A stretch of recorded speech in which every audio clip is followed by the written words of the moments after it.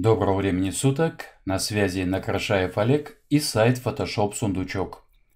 В этом уроке я хотел бы поговорить о таком великолепном приложении Photoshop, как Adobe Camera Raw. Для чего его используют? Если ваш фотоаппарат фотографирует в формате RAW, то обязательно используйте эту возможность. После того, как вы получили снимки в формате RAW, это так называемый сырой формат, эти изображения обязательно открывают в приложении Adobe Camera Raw и делают так называемую проявку для того, чтобы в дальнейшем снимок обработать в Photoshop. Но это приложение также замечательно работает и со снимками формата JPEG. В версиях Photoshop SS это приложение реализовано в качестве фильтра. Фильтр – фильтр камера RAW. Давайте нажмем, вызовем это приложение, и вот мы видим перед собой Adobe Camera Raw, которая реализована в качестве фильтра. Нажмем пока отмена. В формате одного урока работу этого приложения, конечно, не рассмотреть. Поэтому я коснусь только двух моментов. Первое. Расскажу о проблеме, которая может возникнуть при работе с файлами JPEG. Об этом меня часто спрашивают мои подписчики. И второй момент покажу интересный способ устранения постороннего цветового оттенка с фотографии. Итак, давайте перейдем к уроку. Закроем нашу фотографию, зайдем в файл, открыть как. Если вы хотите открыть фотографию формата JPEG в Photoshop в приложении Adobe Camera Raw не как фильтр, а именно в самом приложении, то выбираем такой путь. Файл, открыть как, Выбираем фотографию, которую мы хотим открыть в приложении. Раскрываем список форматов и выбираем здесь камера RAW. Нажимаем кнопочку «Открыть». И вот мы видим перед собой приложение Adobe Camera Raw. О какой проблеме я хотел вам рассказать? К примеру, вы что-то здесь сделали, настроили, и вас устраивает результат. Нажимаете кнопочку «Открыть изображение». Фотография у вас открылась в фотошопе для дальнейшей работы. Вы произвели какую-то работу, сохранили это изображение и закрываете его. Я нажимаю на крестик, не сохраняю.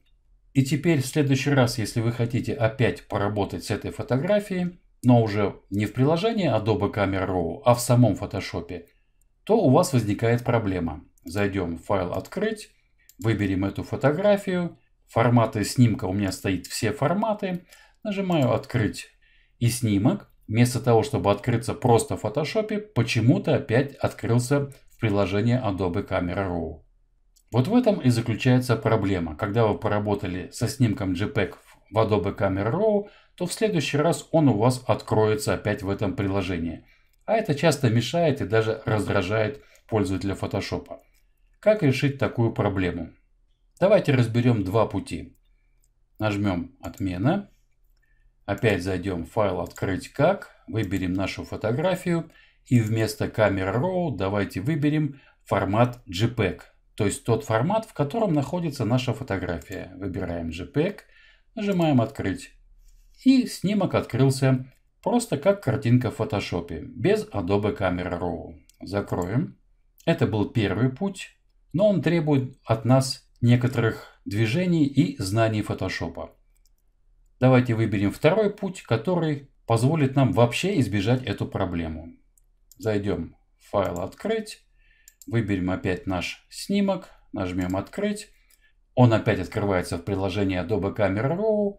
Давайте зайдем в настройки этого приложения. Для этого я щелкну вот по этому списку открываются настройки. Перейдем в раздел обработка JPEG и TIFF.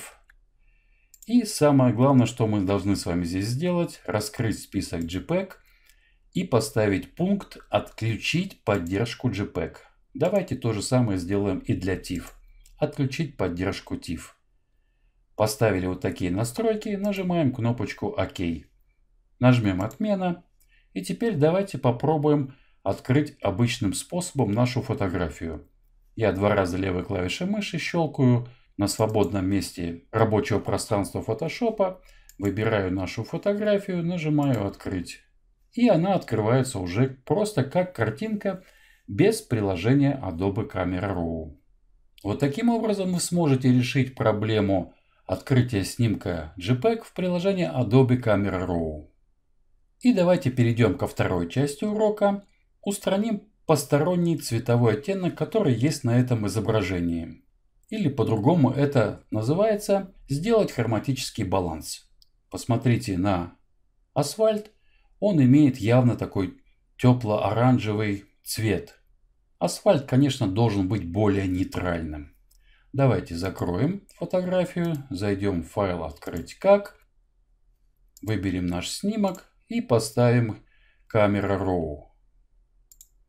Нажмем «Открыть». Снимок открылся у нас в этом приложении. В принципе, для того, чтобы устранить посторонний цветовой оттенок, у нас есть вот такой вот инструмент, называется баланс белого. Это вот эта вот пипетка.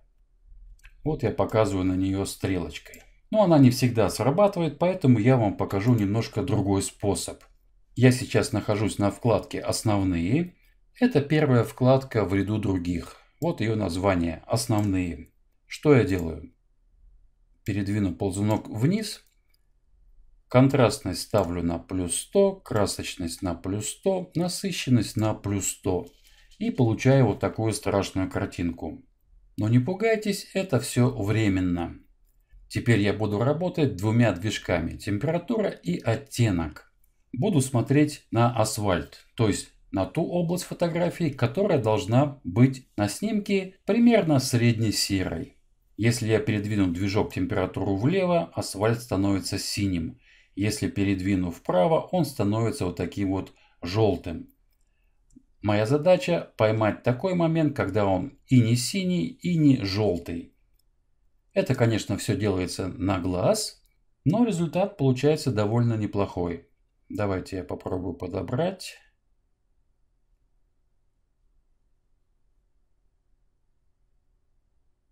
Ну, вот так я оставлю минус 6. Теперь то же самое сделаю с оттенком. Если я передвину ползунок влево, получаем зеленый асфальт. Если вправо, получаем какой-то фиолетовый. И опять ловим такой момент, когда у нас он и не зеленый, и не фиолетовый. Ну вот примерно минус 19 можно оставить.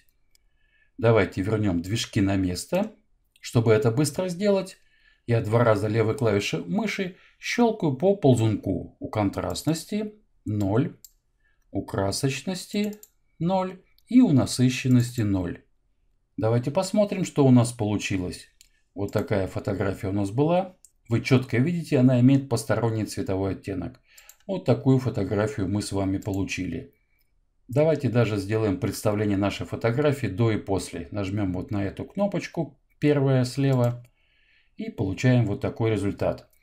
Вы четко видите, что на левой фотографии, эта фотография у нас до, мы видим явный посторонний цветовой оттенок.